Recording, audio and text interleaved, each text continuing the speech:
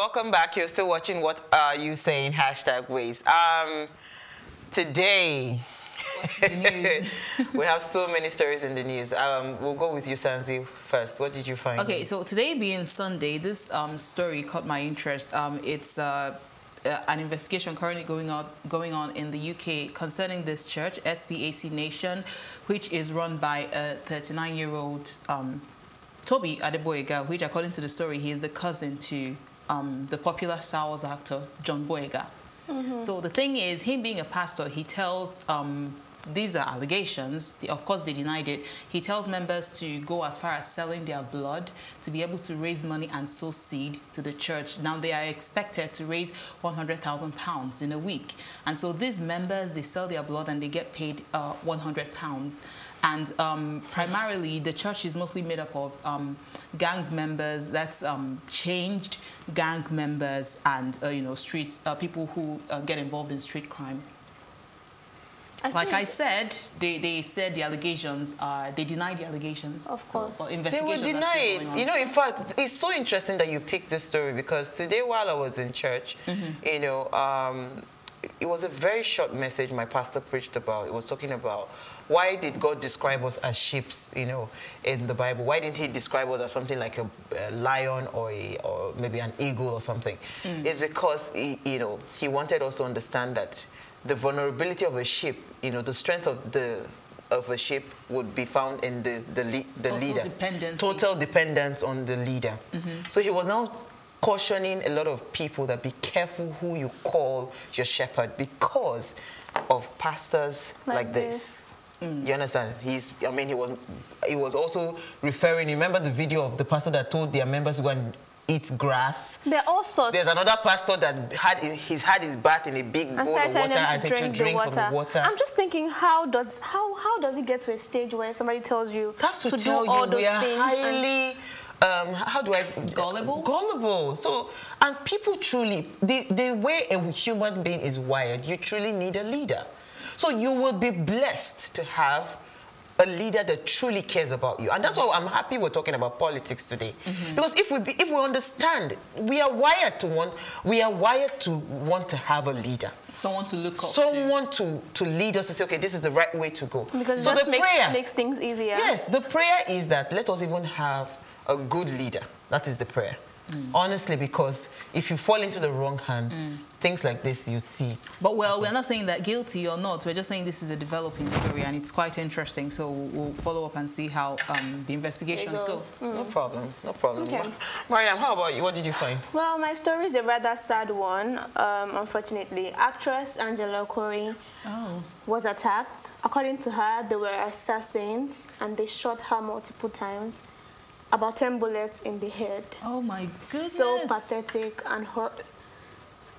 I, am wondering how she's, I think it's the grace of God, you know, I felt so bad for her, but she's doing strong, she's doing okay, and we're really grateful for her life. oh my goodness. We wish her, the women at Ways wish her a sound recovery. I yes. Just, um, honestly, I saw that video, oh my dear. heart was like beating so fast because there was blood all over you know, I was ten bullets to the brain. As in, it's a miracle that she's alive. That, that's what I'm you saying. She's not supposed to. First of all, she didn't yet. say where she was. She didn't say what where it happened. She didn't mm. say who she was with. Mm -mm. But she's saying that whoever it was that that target, because she believes that the people are after her. life. it was a targeted attack. attack yeah. You know, that it was assassin. Because you know, when I saw the first the, the story the first time, it, it was reported that it was robbery. But but when we now read the story in the in the punch, yeah. saying mm -hmm. that mm-hmm. it was assassin. So it's a sad thing. Honestly, I, I I just pray I pray. That's all I can say. We all pray for her. I, I, hope that she gets and better. And she gets better. That's yeah. all. That's all. Because it was what I saw wasn't looking good. We need better security in this we country. We need better Quite everything frankly, in the country. Everything needs to be needs to be better. It's sad. all right. For my story, um, actually, I'm happy to take this story because it's a follow-up of what we found yesterday. Mm. You know, yesterday, Chinasa had taken the story of um, the airline oh, was it China? No, it was Lami that took the story of um, Turkish airline, mm -hmm. you know, federal government going at them and telling them they're going to revoke their license and mm -hmm. all of those things. So today it was reported, in fact, I was driving in the car and, you know, it was reported that they brought bigger aircraft, which is, I mean, it's an immediate Big response. Airbuses. Yeah, they brought bigger aircraft, you know, and they already, people's luggage that had been having issues, they, they're already mm-hmm. bringing, you know, so it's a direct response to the fact that, and that was what Lami was saying, that the, because the government wanted to clamp down mm. on them, they had threatened them, they were going to shut them down, all of, all of those things. We saw this immediate. Also, oh, where has the, the bigger where, been uh, airplane, where has it been? You know, you know, I'm, I'm, I'm proud of the government for taking for a doing solid this, stand on things like this. But I wish they would speak up on more important more, issues. No, no, this, this is, this, this is, important, yes, but there are more yeah, but, but important They just need to do this to other, to other issues, issues, but yes. it, does, not make important. this one any less important. You know what, what I told Lam yesterday, which is what I will still repeat, the truth is that if you understand the revenue that is being generated by these people, mm. trust me, you can't even touch it. So that's why they would quickly respond to it. Mm -hmm. Yeah. So, well, um, we forgot to mention today is National Bill of Rights Day. Mm -hmm. mm. On December 15th, um, 1791, the First Amendment to the Constitution were rectified, known as the Bill of Rights. This 10 Amendment protects the most fundamental rights of Americans, like freedom of religion, freedom of speech, freedom of the press, the right to protest, the right, um, the guarantee of equal protection under the law. Other am amendments include the right to bear arms and protection against unreasonable searches and seizures, amongst others. I am hoping we will have this kind of. I know we have a lot of freedom of things. the right to bear arms, because this, this amendment was made by, uh, I think, President Roosevelt back in 1941, yes.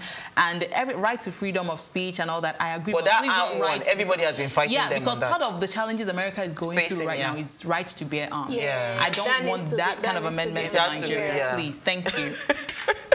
All right, up next, today, as I said um, earlier, we're talking politics and youth engagement in politics. So when we come back from the break, John Sayano joins us.